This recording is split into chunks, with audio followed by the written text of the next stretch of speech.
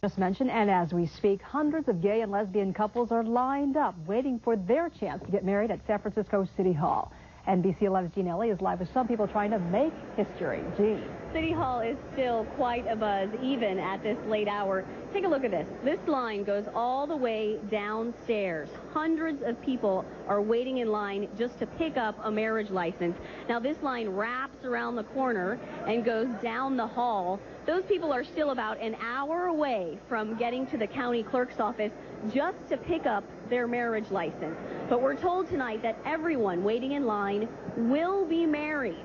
And if the county assessor says her office and her staff will stay here until midnight tonight, if that's what it takes to marry everyone. Now, right now, the ceremonies are taking place upstairs, up by the orchids up there. City staff members have volunteered to be deputized. There are as many as 10 ceremonies going on at once up on the steps right now. Now, Gavin, Mayor Gavin Newsom just on Tuesday decided he wanted the county clerk's office to change all the forms and make gay marriage a possibility here in San Francisco. Now, that's the uh, balcony right in front of his office. You can see there are people up there drinking beverages. He is having a celebration for all of the newlyweds. And how many newlyweds do we have so far? At 4 o'clock this afternoon, the assessor's office told us 400 couples have already been married, and you just saw the line. So it could be hundreds more before the night is over. Maybe you just heard that cheer. That's a common sound here at City Hall as people cheer as people are getting married. Same-sex couples are getting married for the first time in the nation. It's very exciting. It's also changing lives. Jonas Tishner has one couple story. Lined up early, same-sex couples wanting their union to be the city's first order of business. I'll set you guys as fast as we can. Not exactly what I expect them to be doing this morning. But it is what Aric Olness and Michael Thomas have been dreaming of for more than a decade. We've done a lot together in 10 years. We've traveled all over the world and uh, just made my life better. To them, word of Mayor Newsom's decision to grant same-sex marriage licenses seems almost too good to be true certainly more than worth the two-hour wait in line. With each step, they get closer to what they really want in life. Acknowledgement by the government of our relationship and, you know, be normal, you know?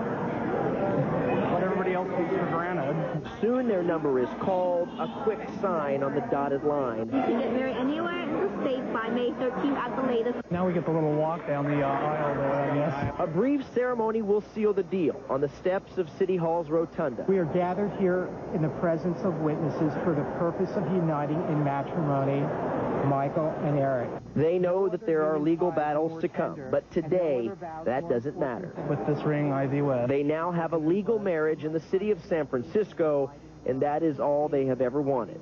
Now pronounce you spouses for life. Congratulations.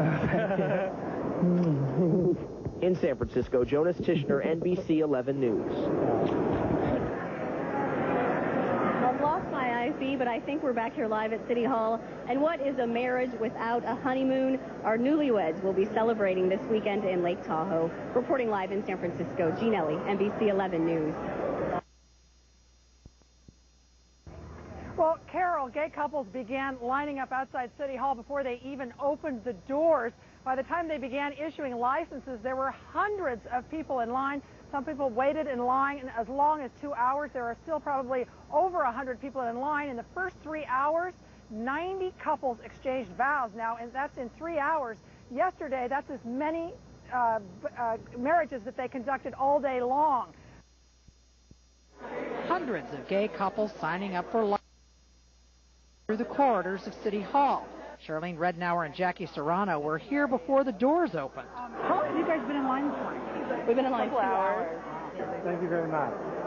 Francisco City Hall.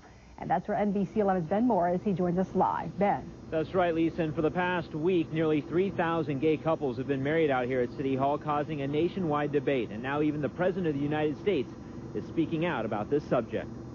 I now pronounce you spouses for life. Congratulations. While gay newlyweds celebrated their nuptials at San Francisco City Hall, the issue was debated at the Congressional conservatives are against that proposal, saying the federal government should stay out of the debate.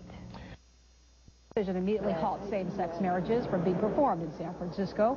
Since the wedding started on February 12th, more than 3,700 couples have been married. The court today said it would hear arguments over whether Mayor Newsom had the authority to allow the marriages in May or June. As for legalizing gay marriage in California, the court said that constitutional question needs to be answered in the lower courts first, which could take a year or more. Today's ruling